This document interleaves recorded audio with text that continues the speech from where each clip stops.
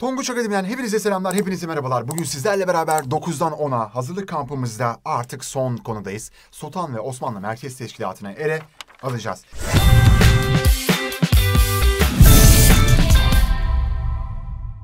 Şimdi geçmişe baktığımız zaman ortaokulda Türk tarihine yolculuk konusunda özellikle bunun ön yapısını görebiliyoruz. 9. sınıfta bir bağlantısı yok. Özellikle yeni soru tarzlarıyla TYT'de uygun bir bağlamı barındırdığını söylemek gerekir. Şimdi Fatih Sultan Mehmet döneminde yapılan Osmanlı Sarayı hangisiydi? Topkapı Sarayı'ydı. Fatih Sultan Mehmet döneminde inşa ediliyordu burası ve Topkapı Sarayı bir devlet merkezi haline geliyordu. Tabii daha önce Osmanlı saraylarına baktığımız zaman e, işte e, Orhan Gazi döneminde Bursa'nın, yine 1. Murat döneminde Edirne saraylarının yapıldığını görmek mümkün. Ama Osmanlı'nın en uzun süreyle kullanmış olduğu saray Topkapı Sarayı'ydı. Tabii Topkapı Sarayı sadece hani bir devlet sarayı değildi. E, yani sadece siyasi bir kısım değildi. Padişahın özel hayatını geçirdiği, devlet işlerinin görüşülüp tartışıldığı çok önemli bir kısımdı. Yani burada Birun'u, Enderun'u, Harem'i yine a, kapıları görecektik. Babü Sade kapısı, Babü Selam kapısı, Babü e, Hümayun kapısı gibi farklı kapılar bulunuyordu. Şimdi hemen e, buradaki bilgilerin, buradaki isimlendirmelerin neler olduğunu ifade etmeye çalışalım. Şimdi Birun'dan başlayalım. Birun sarayın dış bölümüdür. Birun Babü Sade kapısı ile Enderun'a bağlanan bir kısımdı. Ee, burada doğrudan padişaha bağlı Yeniçeri ağası bulunuyordu. Altı bölük halkı, cebeciler, topçular, çarşnigiller, seyisler, müteferrikalar Birun'da bulunuyordu. Padişahın daha çok hani böyle devlet işlerini gördüğü yer Birun'du. Birun'daki görevlere baktığımız zaman haceyanlar var. Mesela müneccimbaşı var. Adam gelecekle ilgili tahmininde bulunuyor. Padişahım, ilerleyen zamanlarda siz Almanya seferine çıkacaksınız. Tahmin ediyor burada.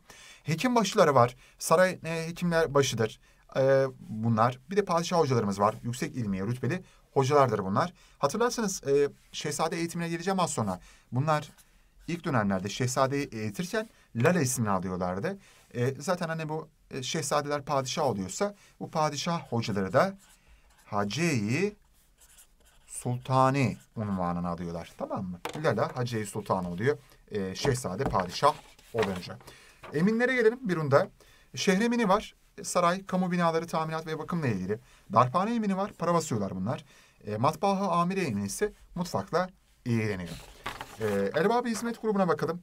Emiri Alem, saltanat sancağı ile ilgileniyor. Kapıcılar Ketudası, saray kapıları ile ilgileniyor.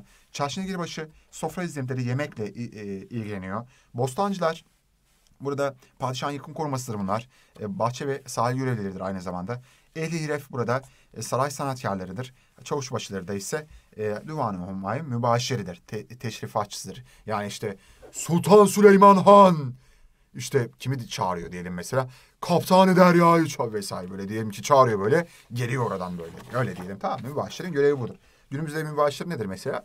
Hani şeyde falan oluyor ya böyle mahkeme salonlarında falan. Ali Bey sıra sizde falan böyle.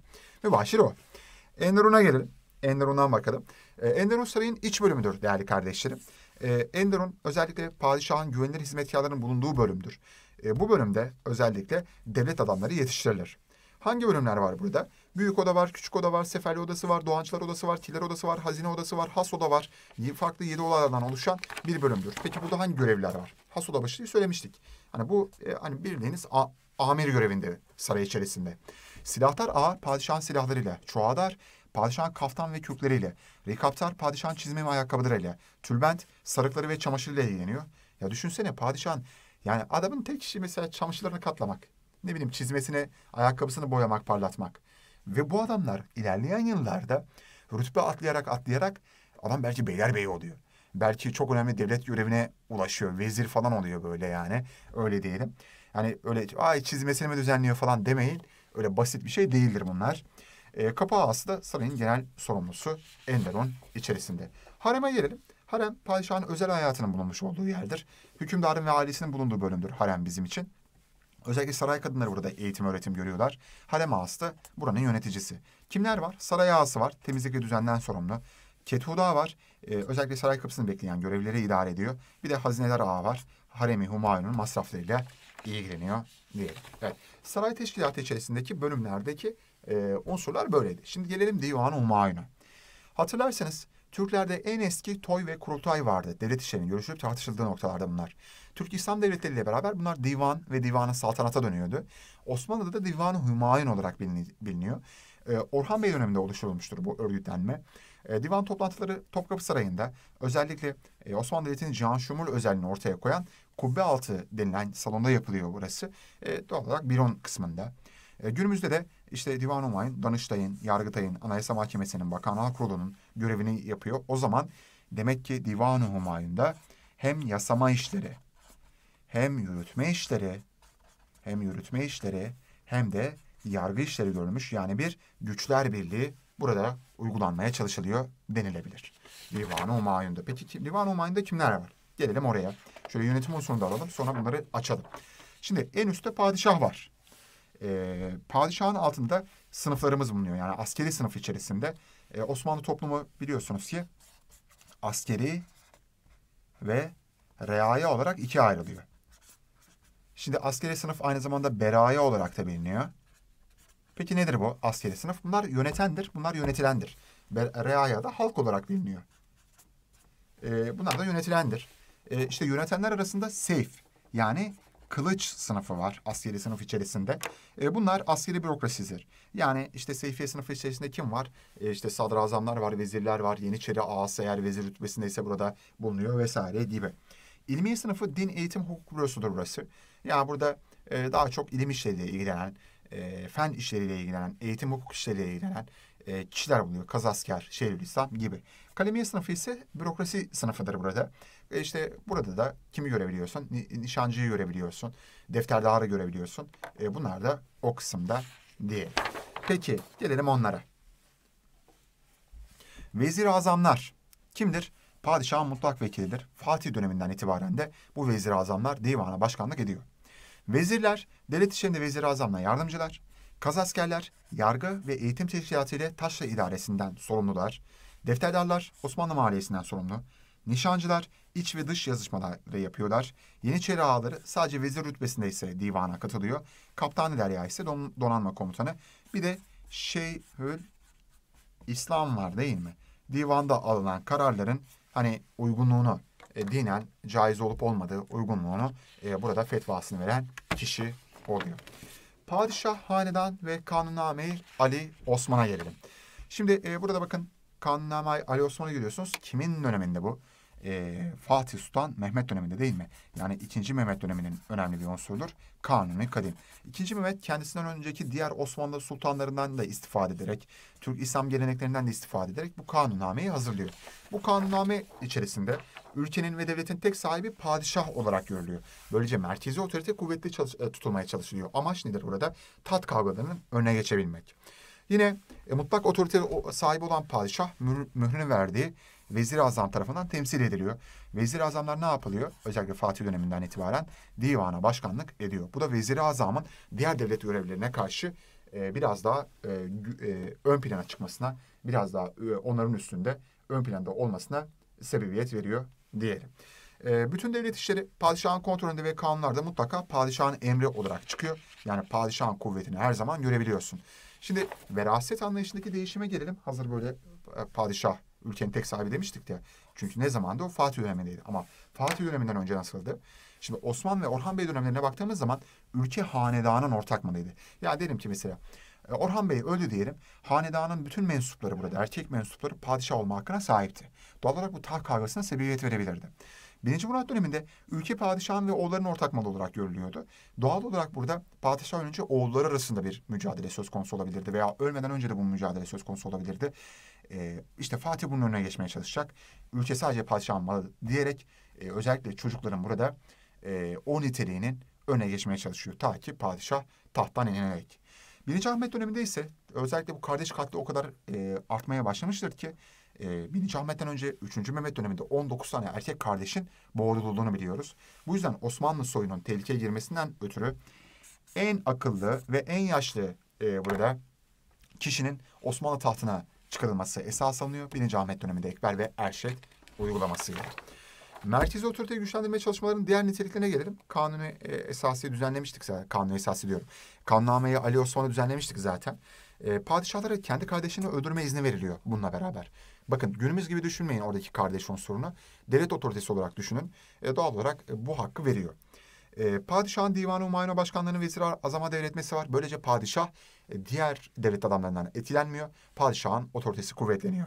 Haremden evlenme usulü uygulanıyor. Niye dışarıdan evlenmiyorsun? Çünkü kimseyi saraya ortak koşmamaya çalışıyorsun. Hiçbir aile saraya ortak olmasın veya padişah başkasının damadı olmasın mevzusu. Haksız yollarla servet edinenlerin cezalandırmak amacıyla da devlet tarafından kişinin mallarına el konulması var.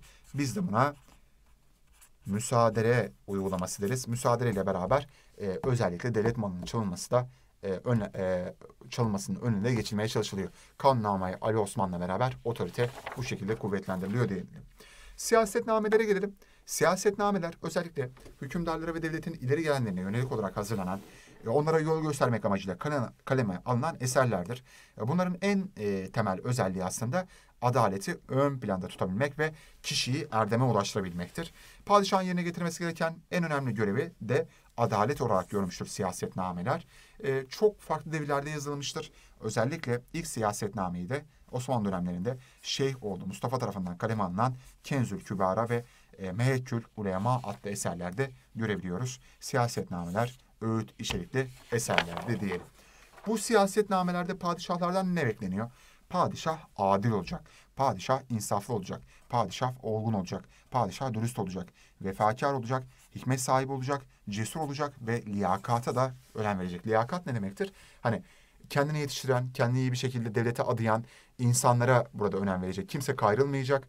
E, yetenekli ve e, ön planda olmasıyla beraber insanlar devlet görevine getirilecek. Liyakata önem vermek zorunda. Şehzadelerin eğitimine gelelim. Dersimizin son kısmını burası oluşturuyor. Şimdi biz Osmanlı'da padişah çocuklarına, erkek çocuklarına şehzade ismini veriyoruz. Bunlar şehzade ya da çelebi olarak isimlendiriliyor. Bunlar doğum haberi ortaya çıkınca zaten doğdukları zaman hatta humayunla vezir azama bildiriliyor. Özellikle e, 4 yaşına kadar şehzadelerde Şehzadeyan Mektebi'nde şehzadeler eğitim alıyor. Bedi Besmele töreniyle ilk olarak Şeyhülislam'dan da eğitim aldığını söylememiz gerekir. Daha sonra belli bir yaşa geldikleri zaman bu şehzadeler sancaklara gönderiliyor. Sancaklara vali olarak atanıyorlar. Böylece Çelebi Sultan unvanına da katıyorlar. Ama bu e, hani şeylere tek başına mı gidiyorlar e, sancaklara? Hayır. Onların yanında Lala adı verilen hocaları var, devlet adamları var. Özellikle onların gitmiş oldukları yerlerde devlet tecrübesi edilmelerini sağlıyorlar.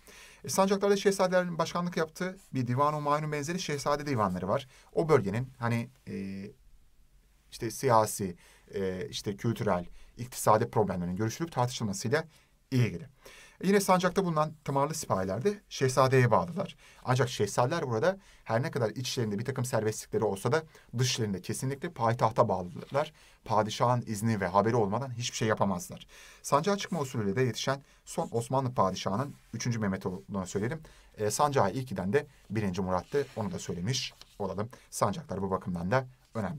Evet, Şehzade eğitimi dersimizin son kısmını oluşturuyordu. Ödüllü sorum ne? Osmanlı Devleti'nde merkezi otoritenin güçlendirilmesi ve istikrarının sağlanması için devletin toprakları padişah ve oğulların anlayışı hangi padişah döneminde getirilmiştir?